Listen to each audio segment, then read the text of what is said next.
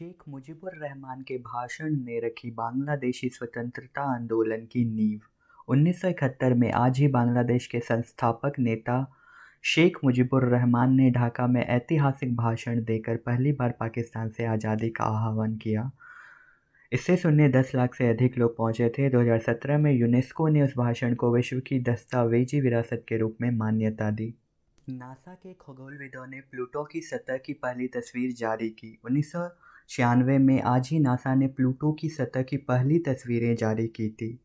इन तस्वीरों को उन्नीस सौ चौरानवे में खगोलविदों की एक टीम ने हबल स्पेस टेलीस्कोप से खींचा था।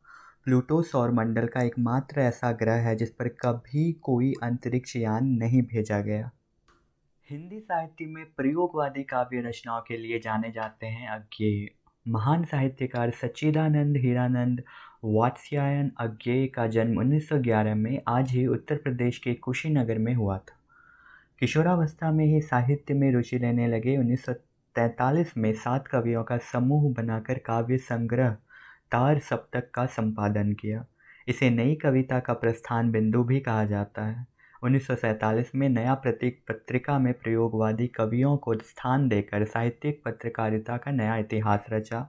भग्नदूत, चिंता, इत्यलम हरी घास पर क्षण भर और पूर्वा उनकी चर्चित रचनाएँ हैं।